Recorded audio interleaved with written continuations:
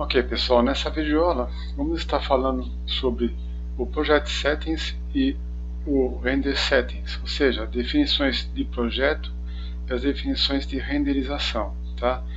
Isso é muito importante, a gente está definindo as configurações de cada um para podermos fazer o nosso projeto de acordo com as nossas preferências, tá ok?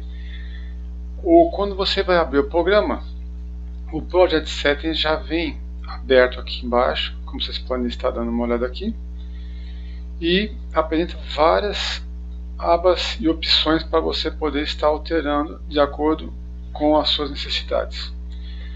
Podemos ver aqui que a linha do tempo, que vamos estar comentando mais para frente, isso aqui se chama agulha, tá? E toda essa parte aqui é onde está sendo é, dando sequência na movimentação do nosso projeto, de um objeto ou de uma cena. E ele funciona a cada 30 frames, um segundo, ou seja, isso aqui é, é em frames, tá? Por default a definição é frames. Podemos definir também o projeto por centímetros, quilômetros, metros, milímetros, para você poder estar fazendo de acordo com, que, com as suas necessidades. Tá ok, turma? E você vai sempre começar com, com um default de 30 frames por segundo. Como podemos estar citando, então, no, nas preferências que nós falamos, nós podemos alterar aqui nas unidades para trabalhar com segundos. Então você verá praticamente em segundos aqui, que ficaria para alguns até mais fácil, entendeu? Mas por default ele está ele vai trabalhar com frames, tá? Eu particularmente prefiro por segundos para ficar uma coisa mais é, certinha, mais compacta. Mas podemos trabalhar com frames ou com segundos, é, dando uma, uma, opção a mais para você. Ou outras medidas que vocês possam estar querendo também, tá, turma? Vocês podem ver que aqui tem a informação, o autor do projeto, é, quando foi feito, o formato do programa, a versão, ou seja, você pode estar alterando tudo isso aqui e registrando o seu programa. O Dynamics, é, referências, interpolação de chave, enfim, são várias é, é, opções que você pode estar alterando no projeto. Uma coisa que a gente pode ver aqui é quando você vai clicar num objeto aqui, ele vem numa cor acinzentada escura, tá? E ah, mas eu queria que, que, logo que abrisse, por exemplo, eu queria que fosse de uma outra cor. É possível? Sim, é possível. Você pode é, vir aqui também para abrir o projeto Settings, tá? E clicar aqui embaixo numa cor que você queira. Por exemplo, vamos colocar um verde e dar OK. Quando você vai clicar no objeto, ele aparece verde, tá? Esse sistema de, de default aqui, quando você fecha o programa, ele volta a ser o, que estava antes, tá ok pessoal? Então é somente para agora. Mas é uma opção que vocês possam estar usufruindo do Project Settings, tá? Ou seja, você pode alterar de acordo com as suas com o seu gosto, com, suas, com as características que você deseja fazer, tá ok pessoal? Uma coisa que a gente pode também perceber é o seguinte, é, tudo isso aqui está em amarelo, tá? São novas funções que aparecem no R19. Então, é, acredito que quando surge uma nova versão, eles põem uma cor diferenciada aqui para que possa ver que essas funções aqui são novas e que tem outras funcionalidades que não tinha nas versões 18, 17 e 16. E você também pode estar utilizando é, tipos diferentes de do cinema 4D, como, por exemplo, aqui o, início, uh, o default é o Startup, que tem o editor Create, Select, Tools, Mesh. Mas se você colocar, por exemplo, no Standard, vai aparecer uma tela diferente com menos opções. Assim como também no Visualize, que é um outro tipo, com menos opções ainda. Isso para quem está com dificuldade de aprender coloca uma coisa mais simples para ter uma visualização melhor. E você também vai poder, junto aqui nessa aba que vem aqui no, no layout, por exemplo, para fazer animações, você pode estar entrando nessa parte aqui, onde praticamente vai se trabalhar a animação em si, com a linha do tempo e tudo mais aqui. Você também pode trabalhar o, o 3D Paint, que é a pintura de corpo, né, especificamente para isso, uma hora própria para isso, né? o V-Edit, o, trabalhar o modelo, entendeu? Então são várias opções que você pode estar é, é, interagindo com o programa.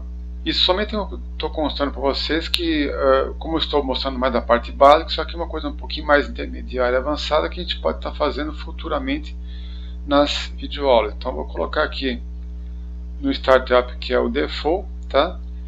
E vocês terem a noção que o Project Settings, praticamente você vai estar é, alterando toda a parte de, do, do projeto, entendeu? Da linha do tempo, você vai poder estar alterando uh, quantos frames por segundo você vai querer. Você pode aumentar aqui, diminuir, enfim. Vocês podem ver que já deu uma aumentada aqui, 200, tá vendo? Então você pode estar colocando de acordo com o que você deseja fazer é, no projeto, tá ok? Isso aqui é a parte de Project Set. E vamos também falar sobre a parte de renderização. Você para editar a renderização, você pode vir aqui no Render, em, My, em Edit Render Settings, Ctrl B também, na, na, nos atalhos. E vai aparecer essa tela aqui. Ou, se você preferir, nesse terceiro ícone de Render Settings. Quando você clica, você vai abrir, você vai estar configurando a, a renderização do seu projeto. Vocês podem ver aqui que está no Standard, Physical, OpenGL, Software GPL. Isso aqui é para poder estar é, otimizando mais ainda a renderização, tá? Isso você pode, vocês podem colocar mais no final para não ficar muito pesado a renderização. Quanto mais otimizado for e melhor a qualidade da, da imagem, mais lento fica para renderizar. E evidentemente a qualidade fica melhor.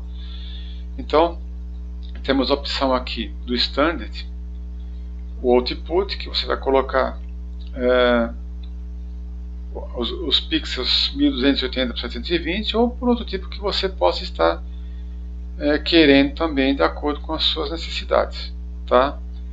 Você vai poder colocar o filme aspecto, é, que tipo que é, HDTV, widescreen, tem 5mm, é, a resolução dela em pixels, em centímetros, em dpi. Uh, poder também colocar em quantos pixels você quer, se é 800 por 600, 1440 por 900, web, também a definição de QuickTime para iPod, uh, o vídeo para PAL-M, para NTSC, para HDV, né? para HDTV, enfim, são inúmeras é, opções que você pode estar colocando para a saída final do projeto quando vocês forem gravar, certo? Ah, ah, você pode render por partes também. Aqui, qual a parte que vocês vão, vão renderizar.